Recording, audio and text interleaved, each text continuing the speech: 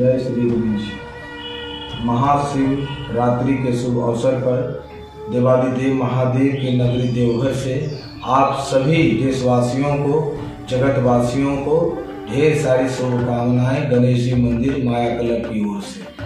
आप सभी भक्तों का मनोकामना पूरा हो, यही कामना करती है माया क्लब गणेश जी मंदिर की तमाम भक्तजन।